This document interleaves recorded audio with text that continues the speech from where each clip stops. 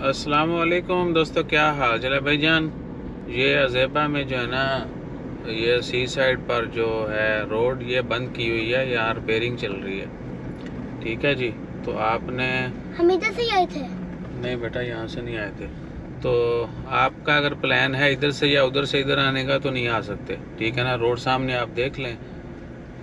वो 18 नवंबर से जो इधर रोड आती है गोबरा से वो है। और दूसरी तरह जेबा से आती है जो रोड ये बीच साइड पर। तो ये रोड जो है यहाँ से बंद है। रिपेयरिंग का काम चल रहा है। बाकी ये माहौल देख के इर्द गिर्द आपको बड़े मिलने का अंदाज़ा हो गया होगा एग्जैक्ट कहाँ पर है।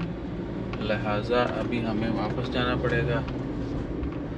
और वो जो सिग्नल है ना, वहीं से फिर लेफ़्ट जाएँगे 18 नवंबर पर। सिग्नल जो है ना, अल्लाह आपका भला करे। सुल्तान सेंटर। वहाँ से अभी हम उधर जाएँगे वापस। अपने घर। तो इस तरह की चीज़ों से जो है ना, बाखबर रहा करें और दूसरों को बताया करें, वरना लाइना लग जाती हैं। अभी बल्कि एक हमारे जानने वाले हैं रूबी में उनकी शॉप है, वो गुजरे हैं। लेकिन उन्होंने इशारा भी नहीं किया। हम देख रहे थे वहाँ से वो यूटर्न लेके चलो खैर, कोई नहीं।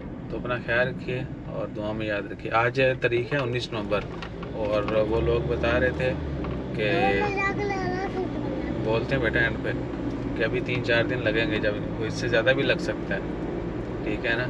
यानी आइंदा एक हफ़्ता तो इधर मुँह नहीं कीजिए आपको दूसरा अल्टरनेट रोड जब वही यूज़ करना पड़ेगा। जजाकल्ला अल्लाह हाफिज़।